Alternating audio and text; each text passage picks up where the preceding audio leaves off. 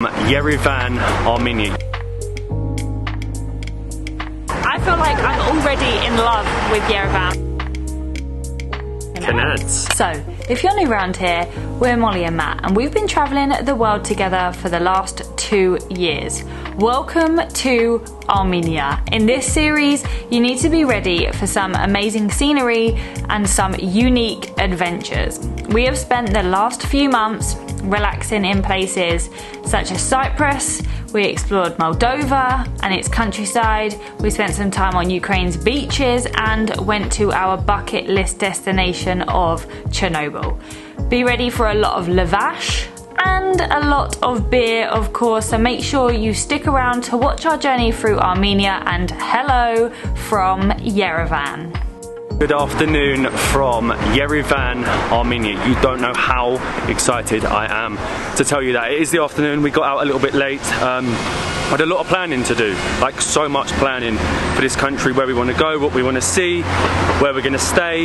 A lot to plan. I think we're there. I think we are almost there. Um, we had a great breakfast at Skyline Hotel. Tried an Armenian coffee for the first time, which was very nice. A bit like an espresso, short, very dark, very, very strong. So I'm awake and I'm so excited to explore the city of Yerevan. One of the oldest inhabited cities in the world. Actually 28 years older than Rome. You wouldn't have imagined that. We're actually staying on Amiran Street, which is right in the center. Um, the center of like Armenia, Yerevan, is sort of like if you from space, if you look from space, or maybe even from a plane. Apparently, it looks like a sun, and that is like the slap bang center. And then from the sun, all them streets out of that, the streets that you want to explore. But the main street is the Republic Square, so I feel like that is the best place for us to start.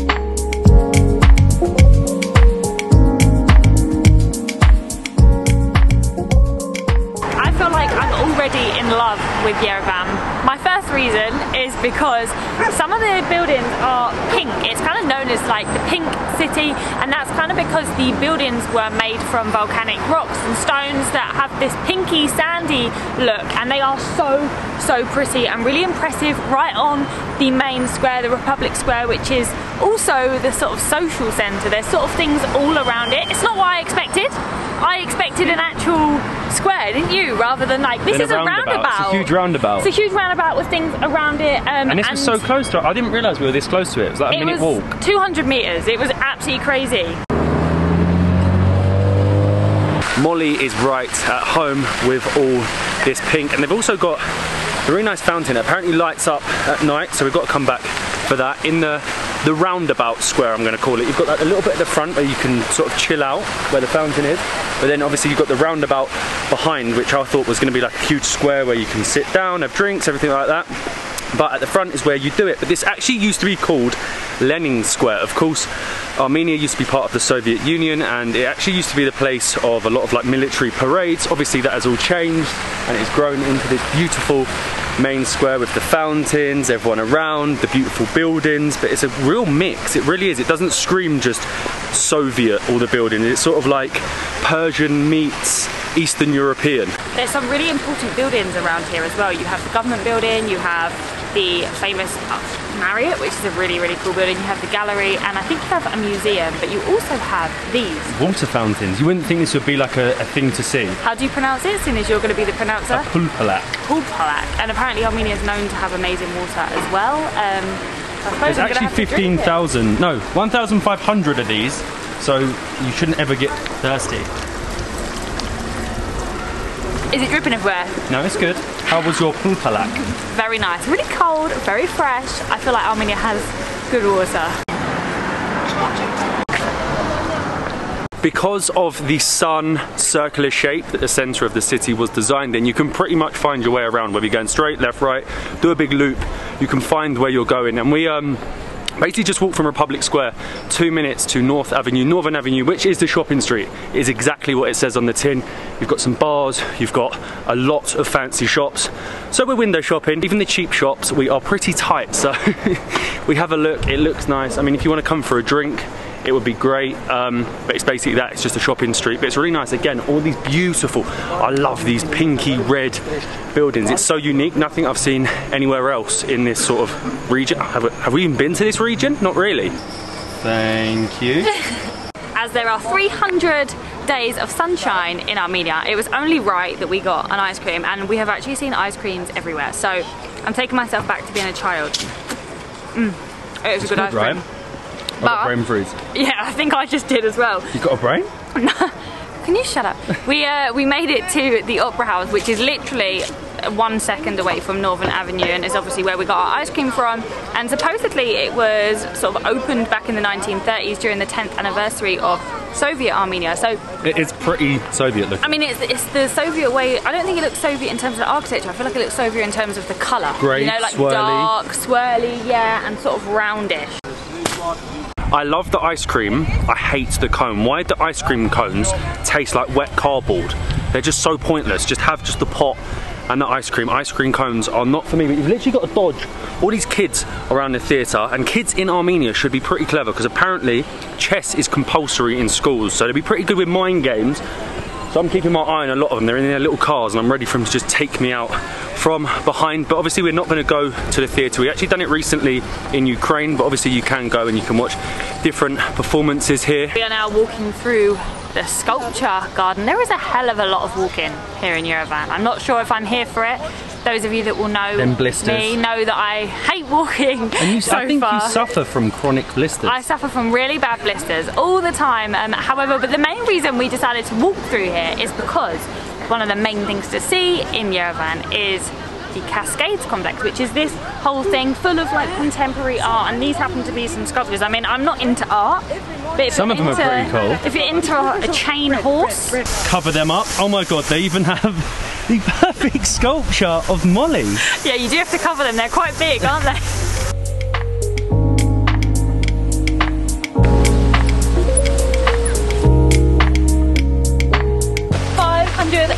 Seventy-two steps. Let's go. Two levels down, six to go. 572 steps, that is a lot.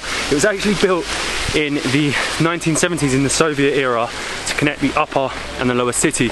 It was redone in 2009, which is why you've got all this cool contemporary art and everything like that. And you say it was made out of limestone? Molly on the facts over there. Yeah, made out of limestone. And then at every level, we're just making it to level three, they have like a water fountain feature where you can probably chill out and rest. You need a, uh, a pul- pulpalik at each stop because I need a drink. Halfway, and we cheated. It's just a bit too hot, and I'm tired. So we're getting the escalator, and this is actually inside a museum. So We got to then walk down. That's Yeah. only fair. Yeah, we'll walk I think down. everyone half sensible takes the lift up And walks down. Idiots like us walk up, get stuck, and then have to do it halfway.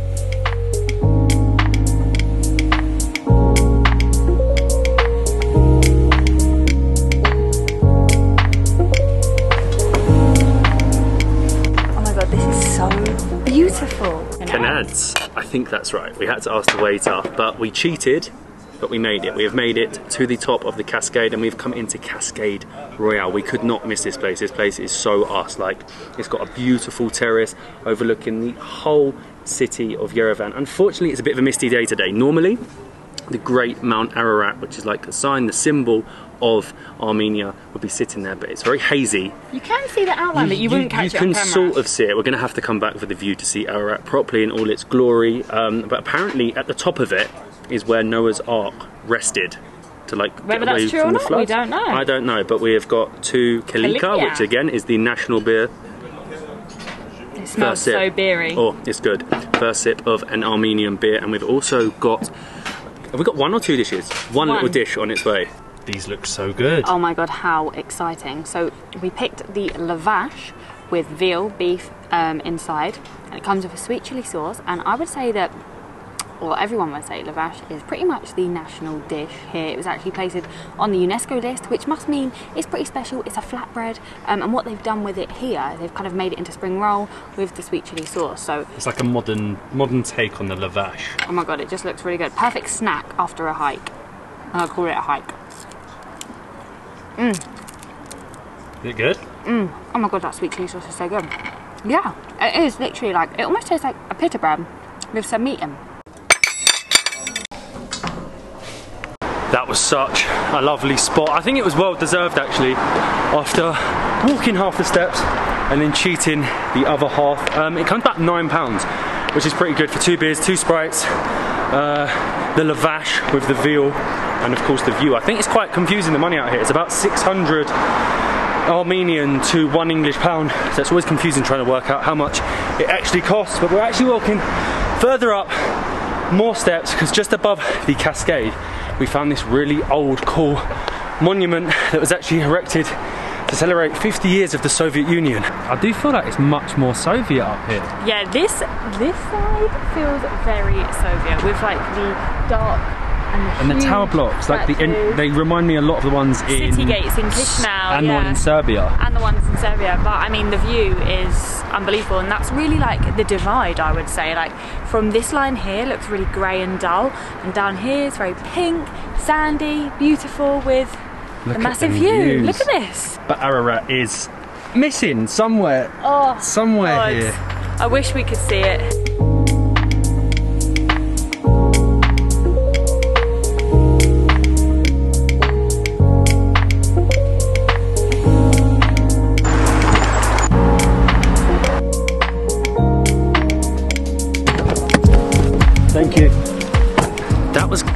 Kind of strange, right? That there is still a statue standing there that celebrates 50 years of the Soviet Union. I know there was a decommunization rule here in Armenia, but maybe they don't take as strong approach or anti-communist approach as the likes of Ukraine do. But yeah, we got a quick taxi and we've actually made it to the motherland statue. It is huge. There was honestly no way I was going to be able to speak and get this monstrous monument in the Mother Armenia monument symbolizing peace and basically to symbolize all of the the women that contributed and helped their husbands fight um, and it's kind of crazy. Armenia has had a really, really tough time, you know, with the war and also with the genocide. Um, and I feel like this kind of just symbolizes all of the hard times and is exactly what it says. It's guarding Yerevan, it's the mother of Yerevan, um, and it actually replaces the Stalin statue that was here, I think, back in the 70s. So, I mean, it's obviously a very prominent figure, um, and I do feel like it is standing over the city. It's just absolutely humongous, and there are tanks everywhere tanks, rockets, and trucks. It is actually a really, really nice area up here. You have incredible views again of the city. Of course, it would be hazy today because you would get incredible views of Mount Ararat. But it's a really nice place, not just to remember the Soviet era here in Armenia, but a lot of the times they've had, like Molly said, they've had a lot of hardships in this country. But you've now got the statue sat there overlooking, protecting Armenia, and right next to it. Can you hear them screams? There is like an amusement park. Oh my god, there's there's like a haunted house and it has this huge Soviet, it, that really is Soviet. I keep saying Soviet, but there's like a Soviet big Ferris. We need to go on this. Or should we go in here? No, I'm not going in There's there. no way Molly's going. It sort of doesn't match, but it sort of does. It shows the freedom of Armenia that you have a fairground now next to the monument remembering the hard times. How safe is this? I'm not sure. It's, don't know. it's, it's definitely a good 30, 40 years. It's older than us. It's older than us, it's a bit rusty and it's creaking. Oh my god! Oh my god, we're doing it. Thank you. Oh. Am I going to manage this? Quick, go, go, go! Oh my god. Woo! Oh my god, we made we it. Made it. Are we Fanta? I don't know what we are. It is wobbling. It's rusty, but the views are so worth it. Oh my god. You've got the Mo- Mother Monument there. You've got the whole town of Yerevan behind me. like it. You know what it's giving me? No, it's, please. it's giving me proper. No, I don't giving, like it. It's giving me proper Pripyat vibes. Oh my I feel so it- doesn't it remind you of the one in Chernobyl? Don't say that. I just hope it works a bit better. That was the scariest thing of my life. We're alive. We're alive though. That was so cool. I didn't even expect it to be there. Sometimes the things you least expect are the funnest. Like Molly, Molly's screams were real. It, her screams sort of scared me a little bit. I think we actually might go back there in a few days because there's so many other cool, I have to say it, they are very Soviet rides that we need to try out. Um, but we've got a taxi back down from the monument. You wouldn't be able to walk it. Well, you could, but it'd take over an hour.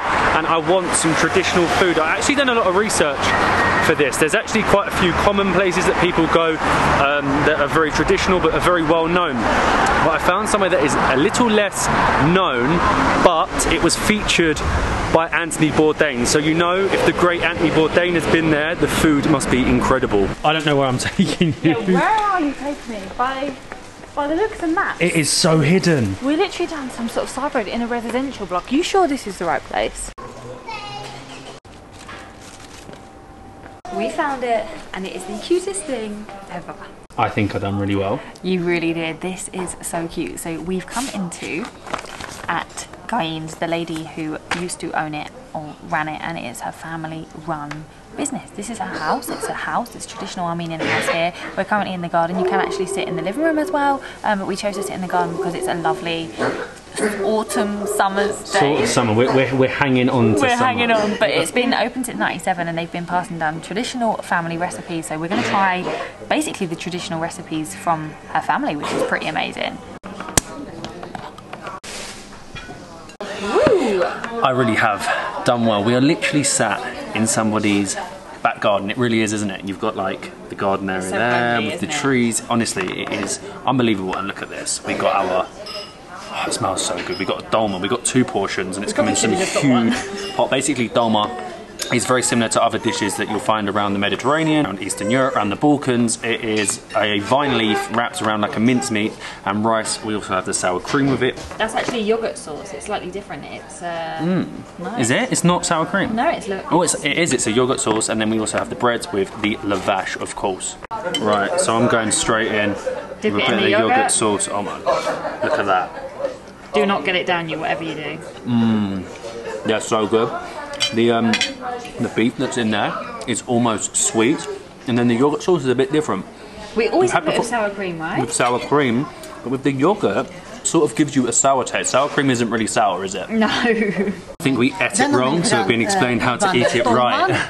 Oh Oh my god. So do I need to wrap the lavash around the dolma and then You see, you already start to understand English. yeah. Yeah, right? So just grab a bit and then what, wrap it around the She says you can just uh, open the lavash, Yeah. bread, and put the dolma inside. Oh. Uh, put on it some source cream Oh yeah, that'd good. and wrap it, and then eat it. There we Perfect. go. Combination. Right. So we've Thank done you. it. Now I Thank know you what so to do. much. Now you Oh know my how to god, do it. look at that. So we've wrapped, I had to be told, I was doing it, everyone was laughing at me in the restaurant. We had to wrap the lavash around the dolma, add the yogurt sauce, and then you've got this like, it's basically like a dolma wrap now, right?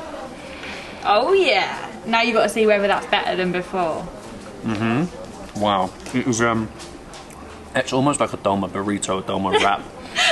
We've never had, we- we- obviously they have variations of this dish, like I say, all around the world, but never anything like this. That is so good. Anthony Bourdain was so right. How amazing was our restaurant? It was absolutely gorgeous, and the lady was so so cute. We ate it wrong, of course we did, because we we didn't know how to do it, but we finally found out how to do it.